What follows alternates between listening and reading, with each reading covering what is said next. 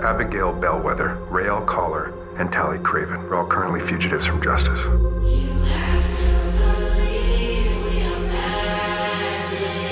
For too long, witches have lived as a separate society within this nation. It's time for that to come to an end. The Camarilla don't care about borders or treaties. They're an enemy to all witches.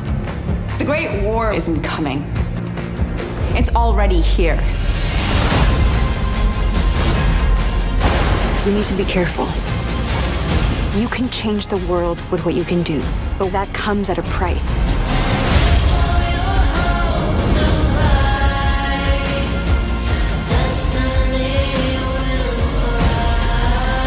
In this moment, the very union of our country will be tested. It's been a long time coming, but the time is now. Find the source of your sight. Remember the future. Remember the future. I saw something. Something terrible.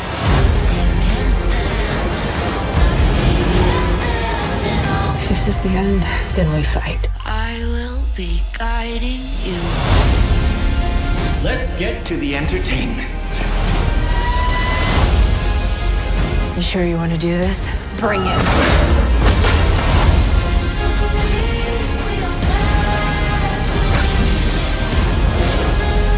Someday soon we'll go away together. I promise. It just feels like every goodbye might be the last. We won't let it be. We just do not lose hope.